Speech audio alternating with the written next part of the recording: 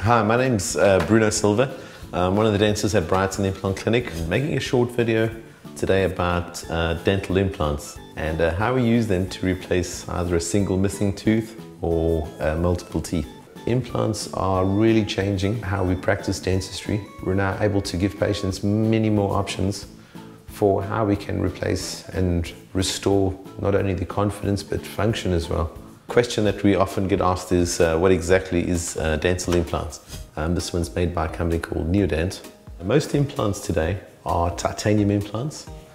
Um, it's actually not pure titanium but a titanium alloy. The most reliable or most widely used group is a titanium grade 4. This type of titanium alloy has been shown to have excellent um, healing properties when placed in the jawbone and after three or four months generally implants integrate with bone.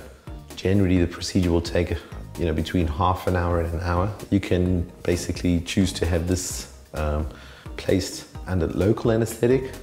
Quite often we will get patients that are a little bit anxious um, a little bit nervous about having dental treatment. It's really good uh, to be able to offer something like conscious sedation. So with conscious sedation, you're essentially asleep.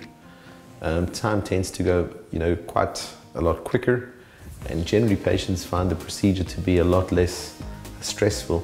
In our clinic, this is something that we do routinely.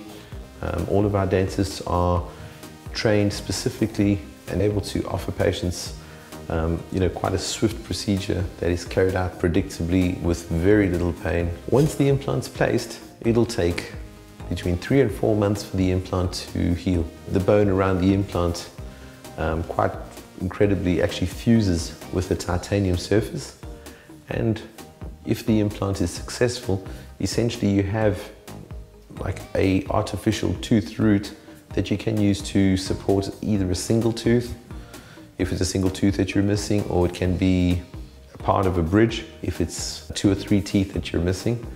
Um, and in you know very often uh, cases whereby we're replacing a full arch of teeth, so all the upper or all the lower teeth.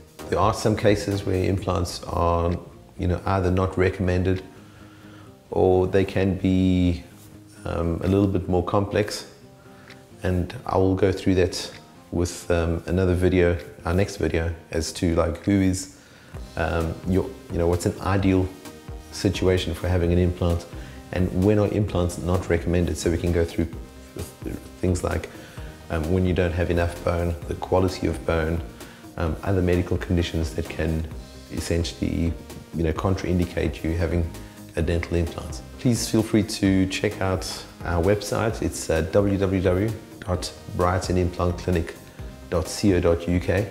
Feel free to post any comments below. So we'll try to get uh, answer all all questions as thoroughly as possible.